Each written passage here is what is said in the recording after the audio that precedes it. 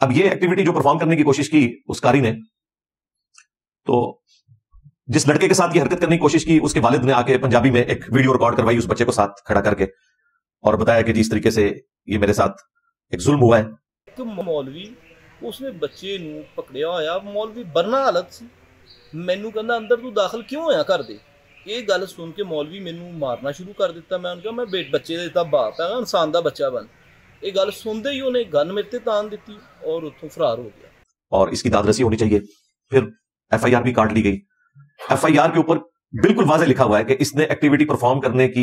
कोशिश की और ये बरहना हालत में पाया गया। और जब उसका वालिद वहाँ पहुँचा तो उसने फ़ौरन से अपने कपड़े पहने और गन पॉइंट के ऊपर उनको लेता हुआ वहाँ से फरार हो गया।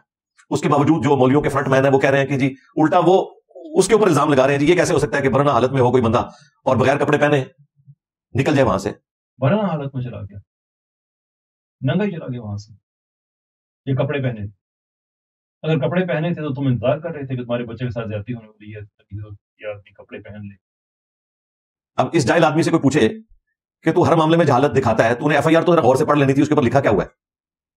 बस सिर्फ़ एक शौक है मौलवियों का फ्रंटमैन बनने का और इस तरीके से मौलवियों के अंदर जो बड़े बड़े इनके आप समझ लें, मौलवी हैं, मुफ्ती हैं, अलामे हैं, वो भी इस तरह के मामला में फिर टपक पड़ते हैं। और वो जो लाहौर में दो गले फाड़ने वाले भाई बैठे हुए हैं, अहल हदीस फिरके के, उनमें से जो बड़ा भाई है, इब्तसाम जहीद वो पहुँच गया वहाँ पे। और एक्स्ट्रा जुडिशियल तरीके से, हालाँकि ये बंदा पढ़ा लिखा आदमी है, इसे सब कुछ पता है कि इस तरीके से पंचायत बिठाई जाती है। इन्हीं कोई बनाना रिपब्लिक तो नहीं है ना यहाँ पे कोई कबायली सिस्टम है, यहाँ पे बकायदा अदालतें काम कर रही हैं, पुलिस का महकमा मौजूद है, बाकी सारी एजेंसीज मौजूद हैं। उसने जाके अंदर खाने जो है वो, सुलह सफ़ाई करवाई और अल्टीमेटली आके फिर मीडिया पे बयान दिया कि जी, अगर कारी साहब ने कुछ किया होता तो हम मजलूम के साथ खड़े होते, कारी के साथ ना खड़े होते, चूँकि हुआ कुछ नहीं है, और ये थोड़ी सी गलत फहमी थी, जिसकी वजह से ये सब कुछ हुआ। गलत फहमी अंदाज़ा करें। इन लोगों के बच्चों के साथ इस तरह हो तो फिर हम पूछेंगे, ये गलत फहमी है ये बाकी ऐसा हुआ है? किसी शख्स को खाम खा शौक आता है कि अपने बच्चों को इस तरीके से बदनाम करे? कोई भी नहीं, ये इस तरह की हरकत करेगा। इसीलिए तो सदियों से इन मौलियों की हरकतें छुपी हुई थी तो मीडिया की वजह से सामने आना लोगों ने शुरू किया ज़रूरत दिखानी शुरू की है। अभी भी बहुत कम केसेस रिपोर्ट होते हैं, लेकिन वो जो रिपोर्ट हो रहे हैं, वो भी हज़ारों की तादाद में। तो उस मौलवी साहब ने इब्तसाम अली जहीर साहब ने प्रेस कॉन्फ्रेंस के अंदर उनको भी साथ खड़ा किया हुआ और फिर उनसे भी बयान दिलवाया। खैर, उसने जो बयान दिया, वो बयान देते हुए उसके अल्फाज का चुनाव, उस शख्स की बॉडी लैंग्वेज बिल्कुल वाक्य को अया कर रही है कि ये सब कुछ उन्होंने एक मसलक की मोहब्बत के अंदर उस बंदे से करवाया। उसने कहा, जी, मैं जमात की खातिर, अल्लाह की खातिर, रसूल की खातिर, मसलक की खातिर जो है मैंने इसको माफ़ किया। अगरचे मुझे ये जो कुछ हुआ, ये बहुत बुरा लगा, लेकिन मैंने इसे माफ़ किया। मीर मुआविया साहब ने जो किया, वो काबिल बर्दाश्त नहीं था। उसकी उन बातों ने, उन हरकतों ने मुझे बहुत हर्ट किया और मेरा दिल टूटा। जबकि ये वाक्य नहीं है कि उन्होंने बदफेली की या ऐसा कुछ किया। बस मैंने रजाए अल्लाह और जमात की सरबलंदी के लिए उलमा कराम की चाहत और उनकी मोहब्बत और उनके खलूस को सामने रखते हुए उन्हें अल्लाह के लिए मुआफ़ किया है। मुआफी होती उस चीज़ की जो कोई काम हुआ हुआ है। इसके बावजूद अगर किसी ने कोई पर्दा डालना है तो वो डालता रहे। जहर वो काम एक एक्टिविटी उस एक्सट्रीम लेवल तक नहीं पहुँची। जहर उसका वालिद वहाँ पे टाइमली पहुँच गया। वो एफ़ हम इंशाल्लाह साथ अटैच कर देंगे। आप खुद पढ़ लें तो उसकी वजह से उस बच्चे की बचत होगी और वो बच्चा कोई उसका स्टूडेंट आजकल नहीं है, किसी जमाने में रहा हुआ है। और उसे पता चला कि कारी साहब आए तो चले मैं जाके उनको मिलाता हूँ। मुझे बताया, अगर कोई पुराना स्टूडेंट किसी कारी को मिलने जाए तो वो पहले दिन उसे कहेगा कि मुझे आगे तुम दबाओ। बंदा कर्टसी में आ जाता है कि ये पुराना स्टूडेंट है। चलो कोई नया स्टूडेंट हो तो वो अलग बात है। और वो भी किसी मदरसे या मस्जिद के अंदर वो एक्टिविटी परफॉर्म नहीं करने की कोशिश कर रहा था, एक घर के अंदर। वहाँ पे कोई खाला थी, वो उसकी रिश्तेदार थी तो उसके घर में। वो एफआईआर के ऊपर सब कुछ लिखा हुआ है और आपको सोशल मीडिया की बरकत से मुझसे ज़्यादा इन्फॉर्मेशन होगी। मैं एक ब्लू प्रिंट उसका सामने रख रहा हूँ ताकि आपको इसके बाद जो मैंने गुफ्तू करनी है वो समझ आ जाए। तो इब्तसाम साहब, इसके बाद जब टॉक शोज़ में उन्हें बुलाया गया है, मोहम्मद मालिक साहब ने बुलाया वहाँ पर उन्होंने गुफ्तु की है और उन्होंने काफ़ी अच्छे क्वेश्चन किए, ये कोई सेटिस्फैक्ट्री आंसर नहीं वहाँ दे सका। हता कि जब साफी ने उनसे ये पूछा कि भाई, आपने उस बच्चे का भी इंटरव्यू किया कहते नहीं, मुझे ज़रूरत ही नहीं, उसका वाले जो आया है अंदाज़ा करो। आपकी आप, आपकी बच्चे से बात हुई थी? मैं बच्चे का मैं क्यों बात करूँ? बच्चे का बाप हम तो जिस बच्चे को लेके गया हुआ उससे आपने पूछा नहीं फिर आपने तफ्तीश क्या की है? कैसी आप बात कर रहे थे बाले बाप जो मुद्दा मेरी से गुफ्तगू ये बच्चे का कहाँ निकल आ गया। आपने वो पुलिस ऑफिसर की वो वीडियो जो लीक्ड है जो वहाँ पे एसपी साहब थे उस वीडियो में आप देख लें वो किस तरीके से उसको डांट रहे हैं मौलवी को और वो आगे से वो डांट खा रहा है। उसे पता है कि उसने क्या हरकत की है। अपना किरदार देखें अपना कंडक्ट देखें आप? मैं आपसे आपके मुताबिक फतवा लूँगा इंशाल्लाह। आप ये बात याद रखना उलमा कराम से। एक छोटे से बच्चे के साथ आप जुल्म और ज़्यादा करने लगे थे? आपको शर्म आनी चाहिए। और वो एसपी साहब भी बेचारे अपने भोलपान में कह रहे हैं कि मैं उलमा इकराम को बुला के तो मैं तुम्हारे खिलाफ फतवा लूँगा। अपने किरदार को दिखाया है? मैं आपसे मुतलिक ना उलमा इकराम से फतवा लूँगा। कि आप इस काबिल हैं कि आप मिंबर में बैठे और आप लोगों को इस्लाम की तबलीग करें और समझाएँ? ओ एसपी साहब मौलवी भी यही कुछ करते रहे? फतवा लेना है? ये सारे को कुछ है जिनसे आपने फतवा लेना है, उन्हीं से तो इन्होंने सारी चीज़ें सीखी हुई है। जो कुछ इन्होंने सीखा है, आगे वो कुछ सिखा रहेंगे। ये सारे को कुछ है तो बेचारे अपने भोलपन में कह रहे हैं। अब चूँकि एक पंचायत बैठी, एफआईआर कटवाने वाला वालिद ही बैकफुट पे चला गया। उसके बावजूद मौलवियों के जितने फ्रंटमैन हैं हाँ वो मौलवी हो या नॉन मौलवी हो पैंट शर्ट वाले, वो उस मौलवी के दिफा में बोल रहे हैं और उल्टा इल्ज़ाम उसको दे रहे हैं, उस बच्चे के वालिद को। तो अगर बच्चे के वालिद ने गलत इल्ज़ाम लगाया तो उसके ऊपर एफआईआर कटवाओ यार। ऐसे लोगों को सजा होनी चाहिए, जो उलमा किराम या उलमा क्राइम मुजरिम उलमा की इज़्ज़त को खराब कर रहे हैं, इनको सजा मिलनी चाहिए।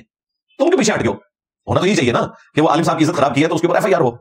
वो उन्हें पता है कि अगर हम इस तरफ़ चल पड़े तो वो फिर सीधा हो जाएगा हमारे साथ। और ये सारे साथ इसलिए जाके खड़े होते हैं कि इन लोगों में से अक्सर लोग ऐसे हैं, उनकी अपनी स्टोरियाँ जो है, वो दूसरे कार्यों के पास मौजूद होती हैं। तो ये अपने पेटी भाइयों की हिफाजत के लिए आ जाते हैं। या टोपी भाइयों की, या पगड़ी भाइयों की, या तस्मी भाइयों की, या छोटी शलवार भाइयों की हिफाजत के लिए सामने आ जाते हैं, सुलह सफ़ाई करवाने के लिए। इस तरीके से सुलह सफ़ाई होती है। खैर, बहरहाल वो जो मजिस्ट्रेट की अदालत थी, छोटी। उसने तो फिर उसे जमानत दे दी, मौलाना साहब को। और वो भी निकल के कह रहे मैं नबूवत में काम करूँगा, मैं अजमत साहब पे अल्लाह बंदे, जा अपना काम कर। ये तेरा काम ही नहीं है। अच्छा। अब चूँकि ये सारी एक्टिविटी सेटल करवाने की कोशिश की गई, और मीडिया में इसकी हाइप क्रिएट हो चुकी भी थी। पंजाब की जो चीफ मिनिस्टर है, मरियम नवाज़ साहिबा, उन्होंने भी इसका नोटिस लिया। और जो हमारे आईजी पंजाब साहब हैं, डॉक्टर उस्मान साहब, वो तो वैसे इस तरह के इश्यूज़ में बड़े सेंसिटिव हैं, वो खुद जाके उस बच्चे के वालिद को भी मिले। और उसके बाद आपने देखा कि मीडिया में इतला भी आ गई कि वो जो उसकी जमानत हुई है ना उसके बाद पुलिस जो है वो इस मुकदमे को खुद टेकअप कर रही है और हाईकोर्ट में उन्होंने पिटीशन फ़ाइल कर भी दी है कि ये छोटी अदालत ने कुछ फैक्ट्स को इग्नोर किया जिसकी वजह से इसकी जमानत हुई है। अब स्टेट जो है इस मुकदमे को आगे लेके चलेगी। अगर अगरचे उन्होंने माफ़ कर दिया लेकिन स्टेट को तो इसे आगे लेके चलना चाहिए ताकि बाकियों के लिए डेटर्स हो जाए अदरवाइज़ ये बाकी तो रिपोर्ट होते रहेंगे। इंशाल्लाह ताला कुछ दिनों में आप देखेंगे कि ये बंदा दोबारा से जेल के अंदर होगा और इसके ऊपर मुकदमा चलेगा। ये बचने वाला नहीं है। हाँ, ये दिन में रखिएगा इनशाला ताला। और देखें ये कोई एक वाक्य नहीं है। इस रमज़ान में कितने वाकत रिपोर्ट हुए हैं? अकल दंग रह जाती है। डॉन न्यूज़ के ऊपर, एक टीवी चैनल भी है डॉन न्यूज़ के नाम से। उस पर एक बड़ा अच्छा प्रोग्राम रहता है, जिसमें सीनियर साहबी बैठे हुए होते हैं। जरा हट के वसतुल्ला खान साहब हैं, उस पर जरार खोड़ो साहब हैं। पहले मुशर जरी साहब होते थे, अब उनकी जगह एक और आ गए। तो उस प्रोग्राम में उन्होंने बाकायदा पूरे फिगर्स दिए हैं कि हज़ारों में वाकत रिपोर्ट हुए हैं पंजाब के अंदर ही। और उनमें से जो मुकदमात फाइनल कंक्लूजन तक पहुँचे हैं, वो बहुत कम है। और ये दो तीन महीनों के अंदर कितने वाकत रिपोर्ट हुए एक तो बड़ा दिल हिला देने वाला वाक्य, वो साफी ने बयान किया उसी प्रोग्राम के अंदर। वो कहता है कि केपी के अंदर एक माँ ने अपने बच्चे को इस रमज़ान में तेरह साल का हुआ तो कहा कि बेटा, अब से तूने नमाज़ जो है वो मस्जिद में जाके पढ़नी है, तुम बालिग हो चुके हो। तो अब तुमने घर में नमाज़ नहीं पढ़नी। यानी वो कैसी वालदा कि उसने अपने बच्चे की तरबियत की कि उसने छोटी उम्र तक उसे घर में नमाज़ पढ़ाई है और इस रमज़ान में उसने बच्चे को कहा कि भाई, अब तुम बालिग हो चुके हो, इस रमज़ान से तुम जमात के साथ मस्जिद में नमाज़ शुरू करो। उसको उसने अच्छे तरीके से कपड़े इस्त्री करके दिए, ना धो के, वो पहले दिन बच्चा गया मस्जिद में, अगले दिन उसकी लाश मिली है। और वो भी रस्से के साथ लटकी हुई। खुदकुशी की कोशिश उसे बताया गया। लेकिन बाद में जब मेडिकल रिपोर्ट आई है तो उसके साथ किसी आलम दीन ने, किसी मुफ्ती ने, कारी ने, किसी फकीर ने, किसी हज़रत साहब ने, किसी बुजुर्गान दीन ने मुँह काला किया था। वो भी अब केस चल रहा है। इस अब तो ये एक मीटू वाला सिलसिला शुरू हो गया। पहले लोग बोलते नहीं थे, डरते थे, बदनामी से। फिर मसल की मोहब्बत, मौलवियों की मोहब्बत आड़े आ जाती थी। अब लोग कहते हैं जन्म में जाओ। हमारी दुनिया भी बर्बाद कर रहे हो, हमारी आखिरत भी बर्बाद कर रहे हो। अब लोग जुर्रत दिखाते हैं। इसलिए आपको ये केसेस इतने ज़्यादा नज़र आ रहे हैं। अभी भी जो केसेस आपको हज़ारों की तादाद में नज़र आ रहे हैं ना ये आप समझ लें कि आटे में नमक के बराबर है, क्योंकि ये रिपोर्ट हो रहे हैं। जो रिपोर्ट नहीं हो रहे, वो बहुत ज़्यादा है। मैंने 2016 के अंदर एक बड़ी सख्त स्टेटमेंट दी थी जब अब्दुस्तार ईदी साहब के बारे में जो बंदियों के एक कराची के मुफ्ती जरबली वो भी फौत हो चुका है, अपने अंजाम को पहुँच चुका है। उसने एक स्टेटमेंट दी थी। और ईदी साहब के बारे में जो उसने स्टेटमेंट दी, मैंने उसे रिबटल किया। जहर उस वक्त ईदी साहब ज़्यादा फौत हुए थे, और ये मौलवी उनके खिलाफ हुए थे। तो उसमें मैंने एक स्टेटमेंट दी थी कि किसी एक मदरसे को कोई क्लीन चिट दे कि जहाँ ये काम ना होता हो। तो बड़े लोगों को गुस्सा आया। मेरा ख्याल इन आठ सालों में जितने वाकत रिपोर्ट हुए हैं अब लोगों को यकीन आ जाना चाहिए कि मैंने जो स्टेटमेंट दी थी, वो दुरुस्त थी। मैं ये नहीं कहता कि हर मदरसे में हर बच्चे के साथ ये होता है, लेकिन हर मदरसे में, किसी ना किसी फॉर्म में ये मामला आगे चल रहा होता है। उसकी वजह यह है कि स्कूल्स में कॉलेजेस में उमूमन, ज़्यादातर बच्चे जो है, वो हॉस्टल्स में नहीं होते। स्कूल में तो बिल्कुल हॉस्टल वाला सिलसिला कोई नहीं है। और फिर टीचर्स के साथ इंटरेक्शन सिर्फ़ क्लास की हद तक होता है। स्कूल टाइमिंग के बाद नहीं होता। लेकिन यहाँ मदरसों में क्या होता है? वो चौबीस घंटे के मुलाजिम होते हैं वो बच्चे। वो उस्तादों को तो पता नहीं उन्होंने क्या माना होता है कि हमारी आखिरत इनके साथ जुड़ी हुई है। इसकी वजह से उस्ताद भी अपनी आखिरत बर्बाद करते हैं और उन बच्चों की दुनिया भी बर्बाद करते हैं और गलत तालीबात देकर आखिरत भी बर्बाद करने की कोशिश करते हैं। तो आठ साल पहले मेरी स्टेटमेंट जो आई थी, वो वक्त के साथ साथ अल्लाह के फजल से लोगों ने देखा है कि वो एक एक करके एक एक चीज़ सही साबित हो रही है। उसके बाद कुछ साल पहले ही आपको पता है, मुफ्ती अब्दुल अज़ीज़ साहब का एक स्कैंडल आया था, वो भी मीडिया में हाईलाइट हुआ था, जो देवबंद के एक मुफ्ती। और उलमा उस वक्त भी एक पिंडी का देवबंदी मुफ्ती है, बड़ा खपती किस्म का, तोरू। वो उस मुफ्ती के दिफा में आ गया और उसने कहा, हमें तो मुफ्ती साहब के साथ खड़ा होना चाहिए। ये उस बच्चे ने उनसे ज़बरदस्ती ये काम करवाया। हालाँकि वो वीडियो जो है वो आप देख लें, जो कुछ हो रहा है। और उस शख्स ने अपने बुजुर्गान दीन को बचाने की खातिर कहा कि साबिक राम से भी तो इस तरह के गुनाह हुए हैं। वसल्लम के जमाने में पाक जमाने में क्या ऐसे वाकयात पाक महफूज अल लोगों से नहीं हुए। एक मशहूर अली दीन है और उसकी सारी चीज़ें हालात वाकयात सुबह और शाम मुफ्ती साहब के हमारे ऊपर वाजे हैं और उनको नशे में चले में नशा दिया गया। उस वीडियो के अंदर साफ़ मौजूद है कि वो उसकी हरकतें बेकसद हैं। हम हमको उनके साथ देना चाहिए। देखो यानी किसी कोई सही हदीस तो छोड़ दें किसी सही रवायत में बताएँ कि साबिक राम ने ये वाला काम किया हो जो मदरसे में मौलवी जो है वो बच्चों के साथ करते हैं।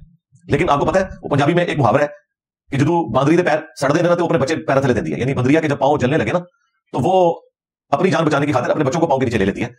ये मौलवी भी यही करते हैं, जब इनके अपने घर तक आग पहुँचती है, फिर ना इन्हें अजमत साहबा का कोई लेना देना होता है, ना और किसी हस्ती का जो सबके लिए काबिल एहतराम हो। फिर ये कहते हैं सबसे पहले तो हम अपने बुज़ुर्गों को बचाएँगे। ये लोगों की हालत है। और फिर उसी वक्त फिर वो आपको बताया कराची के एक मुफ्ती साहब, वो भी सामने आ गए कि सेकुलर्स को मौका मिल गया है, ये करने का। भाई, मौका आप लोग प्रोवाइड करते हैं ना। ना करें ना। हम कहते हैं इस किस्म की एक्टिविटी खा वो मदारिस में हो, या किसी रियाती इदारे के हॉस्टल में हो, या किसी यूनिवर्सिटी के हॉस्टल में हो, उसे कंडेम करना चाहिए। लेकिन चूँकि आप लोग दीन के ठेकेदार बने हुए आप लोग दुनिया और आखिरत में इनके इमाम होने के दावेदार हैं, लिहाजा आपके ऊपर ज़्यादा इम्तिहान है इस हवाले से। और आप अगर कोई गलत काम करेंगे तो आपका गलत काम ज़्यादा हाईलाइट होगा, क्योंकि आप लोग तो दीन के प्लेटफॉर्म के ऊपर बैठे हुए बाकी लोगों को तो कोई बेनिफिट ऑफ़ डाउट दुनियादार लोग देने के लिए तैयार हो जाएँगे, लेकिन आप लोगों को नहीं होंगे। और ये सदियों से सिलसिला इन मदारिस का चल रहा है। आठ से सात सौ साल पहले हाफिज इबन कसीर, जिन्होंने तफसीर इबन कसीर लिखी और तारीख इबन कसीर भी है उनकी 774 हिजरी में वो फोत हुए आज 1445 हिजरी है। 7 अप्रैल 2024 और 27 रमज़ान मुबारक। मैं 700 साल पहले की बात कर रहा हूँ। हाफिज इबन कसीर तारीख में लिख रहे हैं कि ये जो मौलवियों का जो मुँह काला करने वाला अमल है ना, ये ऐसा कभी फेल है कि उन्होंने कहा कि कोई मुफ्ती, कोई आलिम, कोई फकीर, कोई हुकूमती, अहदेदार, कोई जज इस काम से महफूज नहीं है सवाए उसके कि जिसे अल्लाह ताला बचा ले। तो उन्होंने सारे उलमा का लिखा फकीर और और हाफिज इब्ने कसीर ने को मेरी वीडियो नहीं देखी थी अब्दुल ईदी साहब वाली के, वो सात सौ साल पहले लिखे। फिर एंड में उन्होंने जाके लिखा कि अपने बच्चों को इन उलमा की पहुँच से दूर रखें खसूस सफ़र के अंदर। ये रायविंड में इतने वाकत रिपोर्ट होते थे। हाजी अब्दुल साहब रही उन्होंने फिर पाबंदी लगा दी। कि कोई भी छोटा बच्चा अपने वालिद या बड़े भाई के बगैर किसी तबलीगी जमात में सफ़र नहीं करेगा। तब उन्होंने इस इशू को एड्रेस किया। और अपनी गलतियों को खुद एड्रेस करने की ज़रूरत है। अदरवाइज़ अगर आप ये कहेंगे, जी, इससे इस्लाम की बदनामी हो रही है, जी, पाकिस्तान की बदनामी हो रही है तो ना करो ना इस तरह के काम यार। तुमसे तो गोरे बेहतर है। उन्होंने स्पॉटलाइट फ़िल्म बना दी।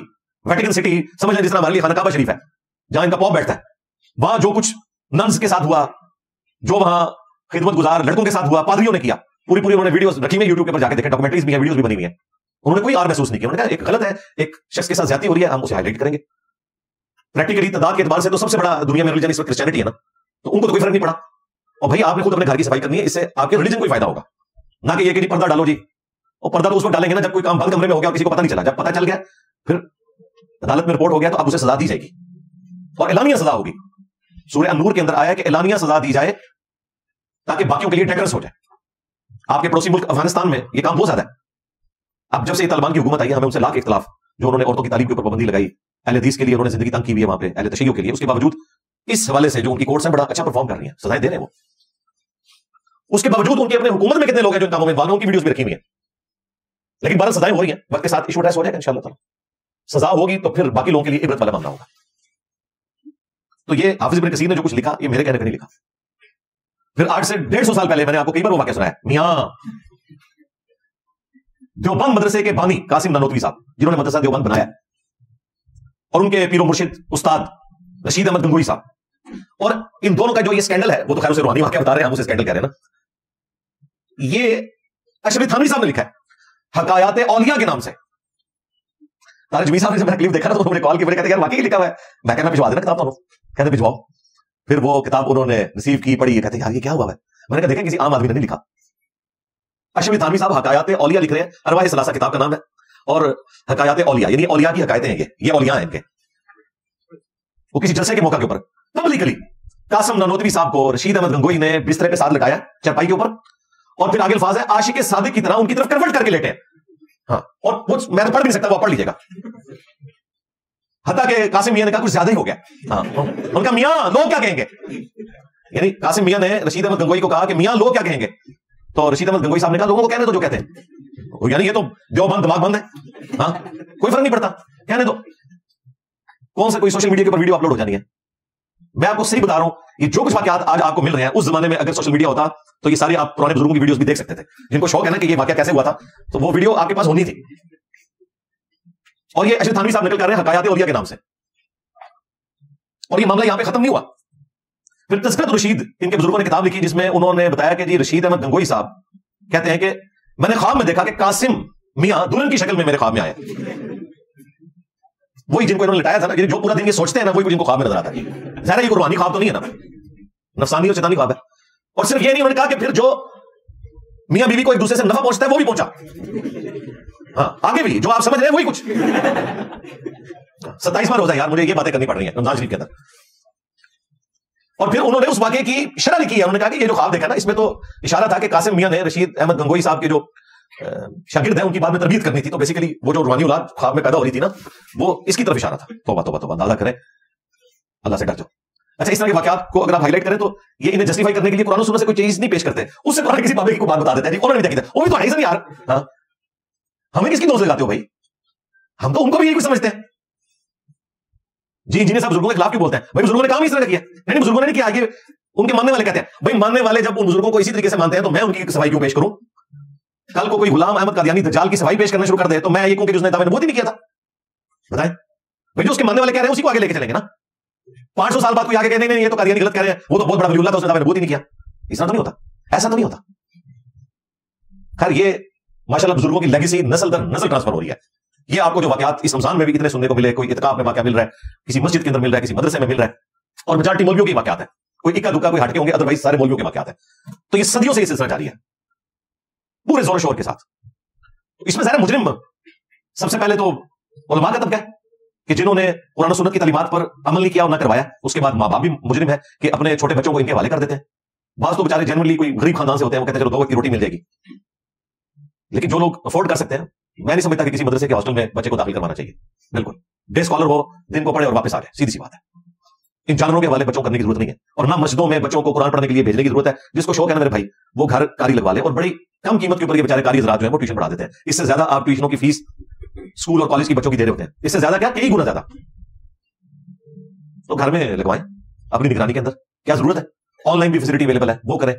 मस्जिदों में पाँच सौ, हज़ार रुपया अपना बचाने की खातिर अपने बच्चों को, इन जानवरों के आगे, भेड़ियों के आगे डालने की कोई ज़रूरत नहीं। बिल्कुल। सीधी सी बात है अब तो यानी किसी बच्चे को कोई इतकाब भी क्या बिठाए मस्जिद के अंदर? शाबेदारी के लिए भी क्यों भेजे? सीधी सी बात है, जब इस किस्म के वाकत रिपोर्ट होंगे, अगर अगले दिन लाशें मिलनी है बच्चों की, और देखिए ऐसे सारे में मार भी देते हैं फिर। इस तरह करने से सबूत मिट जाएँगे। मौलवियों के बाद माँ बाप के बाद, तीसरे नंबर के ऊपर मैं स्टेट को मुझे समझता हूँ कि इस तरह के वाकत के बाद फिर जो जुडिशियल ट्रायल चले, उसको मंतक अंजाम तक पहुँचना चाहिए। सजाएँ होनी चाहिए और सजाएँ फिर मीडिया में रिपोर्ट होनी चाहिए, ताकि बाकी लोगों के लिए इबरत हो। अभी हम इन रियाती इदारों के जब बड़ों से बात करते हैं कि आप लोग मीडिया में क्यों नहीं इनकी सजाएँ बताते हैं तो वो कहते हैं जी हम करते हैं, फिर वो ये रोड ब्लॉक कर देंगे, ये कर देंगे, वो कर देंगे, इस वजह से। सजाएँ तो हो रही होती हैं। काश हमारी स्टेट इतनी मज़बूत हो जाए कि ये फिर एलानिया इनकी सजाएँ बताई जाए। जिस तरह जैनब कतल केस हुआ था, पूरे मुल्क के अंदर आग लगी थी। वो भी वो मौलवी निकला था एक नाथ खान जो सबसे आगे था एहतजाज करने वालों में। वो सबसे एक स्पीडी ट्रायल हुआ और उसके बाद उसे सजा हुई। अदरवाइज़ तो बहुत कम सजाएँ जो है वो मीडिया के अंदर रिपोर्ट हुई हैं और बहुत कम ही है जो सजा तक पहुँचे भी हैं। अक्सर औकात सुलह सफ़ाई वाला मामला हो जाता है या शवाहिद ना काफ़ी होने की बिना के ऊपर छोड़ दिया जाता है। इसमें मेरा भी पॉइंट ऑफ़ व्यू यही है कि अगर शवाहिद मौजूद नहीं है तो ज़बरदस्ती किसी को तख्ते बनाने की ज़रूरत नहीं है। और आज के इस मॉडर्न दौर में शवाहिद इकट्ठा करना कोई मुश्किल काम नहीं। सीसीटीवी कैमरा हर जगह पे लगा हुआ है। देखे ना ये जो उस बच्चे के गले पर डोर फिरी थी, पाँच सौ बंदे उन्होंने पकड़े और चंद दिनों के अंदर उस कातिल तक पहुँच गए जिसकी डोर से वो बच्चा शहीद हुआ फैसलाबाद में। और उसने खुद मान भी लिया।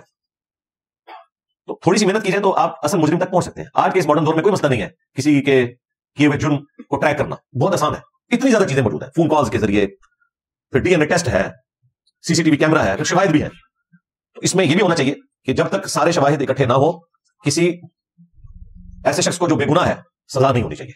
यह ना हो कि लोग अपनी जाती दुश्मनी निभाने की खातिर किसी के ऊपर झूठा इल्ज़ाम भी लगाए। और फिर वो सुलह सफ़ाई नहीं होनी चाहिए। अगर कोई शख्स इल्ज़ाम वापस ले रहा है या वो कह रहे है, मैंने गुस्से में आके बात की, ऐसा नहीं हुआ था, उसे भी मंतकी इंजाम तक पहुँचना चाहिए, ताकि कोई तमाशा ना लगा ले, जिस तरह यहाँ तो हिंदू मज़हब के नाम के ऊपर अक्सर का तमाशी लगाया ना? तो ये भी एक टूल लोगों की दुश्मनी निभाने का ना बन जाए, इसके ऊपर भी तवज्जो करने की ज़रूरत है। यार इसके ऊपर तो घंटों बोला जा सकता है किस किस चीज़ का रोना रोया जाए। हमारे इस माशरे के अंदर जो ये खराबी पब्लिकली अब रिपोर्ट होना शुरू हुई है तो इसके बाद अब पब्लिकली इनकी सजाएँ भी डिक्लेयर होनी चाहिए मीडिया के अंदर। ये हमारे बड़ों का काम है कि बच्चों को प्रोटेक्शन दें। कानून तो बड़े अच्छे बने हुए हैं, लेकिन शवाहिद में कमज़ोरी की वजह से बाजुकात, बल्कि अक्सर औकात मुजरमीन जो है वो सजाओं से बच जाते हैं। और फिर ये जो इन मौलियों के फ्रंटमैन मौलवी हैं या कोई और है, पेंट शर्ट वाले लोग, इन्हें भी लगाम देनी चाहिए। कि भाई तुम आगे खाम खा क्यों सफाइयाँ पेश कर रहे हो किसकी तरफ़ से?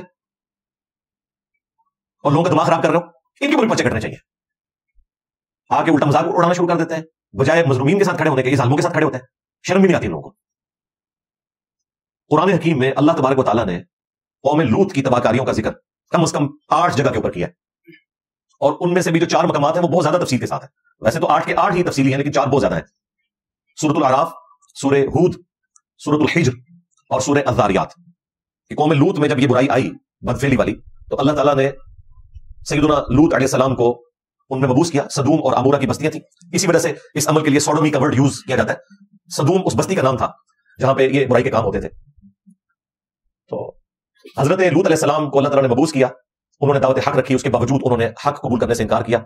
सिर्फ़ लूत सलाम की दो बेटियाँ आपके ऊपर ईमान लेकर आई और जो उनके दामाद थे, उन्होंने भी हक नहीं कबूल किया। उनकी अपनी बीवी भी काफिरा थी।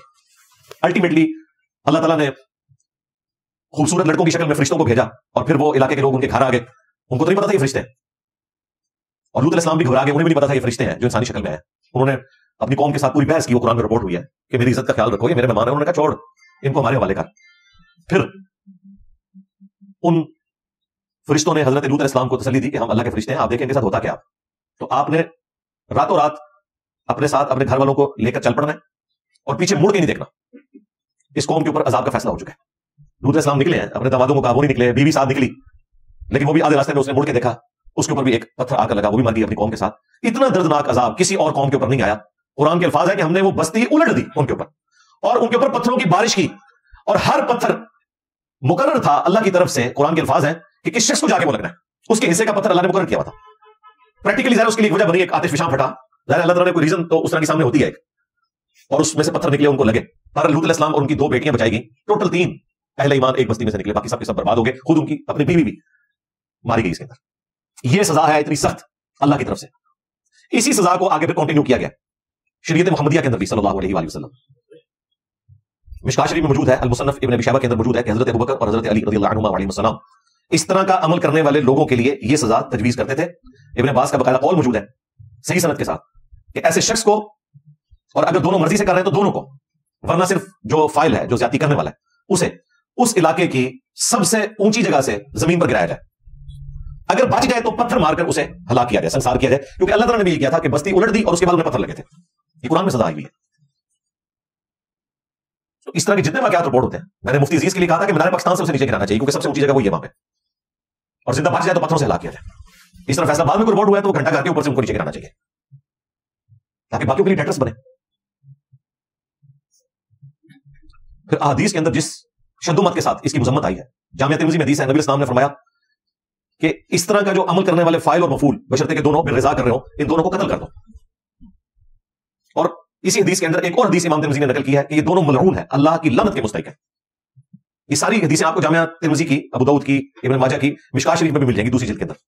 फिर तिरमिजी के अंदर एक और हदीस है कि नबी इस्लाम ने फरमाया कि कौम लूत का अमल करने वाले लोग क्यामत के दिन अल्लाह ताला की रहमत से महरूम हो गए अल्लाह ताला उनकी तरफ़ नज़र रहमत भी नहीं फरमाएगा। और फिर जामिया तिरमिजी के अंदर हदीस है कि नबी इस्लाम ने फरमाया कि लानत है, जो कौम लूत का अमल करे, खा कोई मर्द के साथ करे या किसी औरत के साथ करे। यानी ये अमल कोई शख्स अपनी बीवी के साथ भी करे तो वो भी हराम है।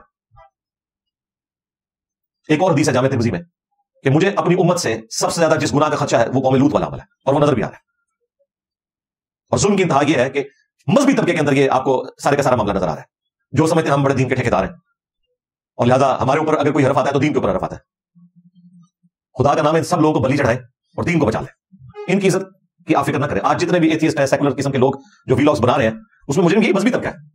ये बार बार ये कहना कि ये लोग क्यों बोलते हैं भाई? तुम लोग अपनी हरकतें ठीक करो ना। क्यों मौका देते हो? अगर तुम्हें इस्लाम का इतना दर्द है तो हरकतें छोड़ो अपनी। हरकतें भी छोड़ने के लिए तैयार नहीं है और उल्टा उनके ऊपर ब्लेम लगाते हैं कि जी, वो हमारे ऊपर वीलॉग्स क्यों बनाते हैं जी? और फिर इंजीनियर साहब जो है, वो इस तरह की वीडियोस रिकॉर्ड करवा के उनके हाथ में हथियार दे देते हैं। अल्लाह के बंदो, मैंने कहाँ से हथियार दिया हाफिज इब्न कसीर को मैंने कहा था कि तारीख में लिखो के सारे मौलवी यही काम करते हैं, सवाए उनके जिनको अल्लाह बचा ले। मैंने कहा था हाफिज इब्न कसीर से। मैंने कहा था, रशीद अहमद गंगोई से कासम नोतवी को अपने साथ लटाओ। और अशरफ थानवी को मैंने कहा कि फिर वाकया नकल भी करो। मैंने रशीदा में को कहा कि तुम्हें अगर ये ख्वाब आया था शैतानी के, तुम कासिम मियाँ दुल्हन की शक्ल में आए और आगे भी काम हुआ है। तो ये बताओ आगे। मैंने तो नहीं कहा था। मुफ्ती अब्दुल से मैंने तो ये काम नहीं करवाया। अब ये जो कारी मुआविया है। और वो देखें, वो जो बच्चे का बाप है बार बार मीर मुआविया मीर मुआविया कह रहा है उसे। और भाई, मेरा स्टूडेंट नहीं है, मेरे बतेरा बात देना। हो सकता स्टूडेंट भी हो मुझे तो नहीं पता इस बात का। तो वो बार बार मीर मुआविया कह रहा है, मीर मुआविया कह रहा है। आप देखें, इस किस्म की हरकतें करते हैं लोग, और बाद में फिर मजलूम बन जाते हैं कि जी सेकुलर तबका जो है वो इंजीनियर साहब की वीडियोस को यूज़ करता है हमारे खिलाफ। भाई, मुझे तो खुद आप लोगों की हरकतों की वजह से वीडियोस रिकॉर्ड करवाना पड़ती है। मैंने कभी भी इनिशियली स्टार्ट नहीं लिया। जब कभी मैंने ये वाकयात बताए तो तुम लोगों ने किए तो फिर मैंने वाकयात आगे बताया कि देखो, ये सिर्फ़ आज के बुजुर्गान दीन नहीं है। इनके जो बुजुर्गान दीन थे, वो भी यही कुछ किया करते थे। और देखिए, इसमें पॉजिटिव चीज़ देखें कि हाफिज इब्न कसीर रही वो बकायदा ही कह रहे हैं कि अपने बच्चों को बचा के रखें मौलियों से। तो हाफिज साहब तो फिर हमारे साथ खड़े हैं ना। हाजी अब्दुल साहब ने अगर तबलीगी जमातों में इस तरह के बच्चों को बगैर बड़े भाई और वालिद के शिरकत करने से मना किया तो हाजी अब्दुल साहब ने राइविंड में जो ये डिसीज़न किया था, वो तो फिर हमारे पॉइंट ऑफ़ व्यू के साथ खड़े हुए ना, कि इनको तो हम सुधार नहीं सकते, यार तुम वालिद और बड़ा भाई साथ चले जाओ। इनका तो कोई इलाज नहीं है, तुम लोग साथ जाओ। तो हमारी डॉक्टर को सपोर्ट कर रहे हैं। तो इसमें बुरा बनाने वाली कोई बात नहीं है। मेरा ख्याल अगर हम अपनी गलतियों से सबक सीखेंगे तो ही हम मुस्तकबिल में इस्लाम की कोई अच्छी पिक्चर जो रियली कुरान सुन्नत की पिक्चर है, वो लोगों के सामने पेश कर सकते हैं। अदरवाइज़ ये बदनामी का सिलसिला जो मौलवियों के मथे लग चुका है, ये इसी तरीके से जारी रहेगा। अल्लाह ताला हमारे बच्चों को हमारी आने वाली नस्लों को इस किस्म के गुनाह के कामों से और हमारे बुज़ुर्ग दीन को भी, जो बाद में भी आने वाले हैं और याउल्ला और कराम और फकी हजरात और मुफ्तिया, इन सबको भी इस तरह के गुनाहों से महफूज रखे। आमीन। सल्लु अला मुहम्मद व आलि मुहम्मद। अल्लाहुम्मा सल्लि अला मुहम्मद व अला आलि मुहम्मद व अस्हाबि मुहम्मद व अज़वाजि मुहम्मद व उम्मति मुहम्मद अजमईन इला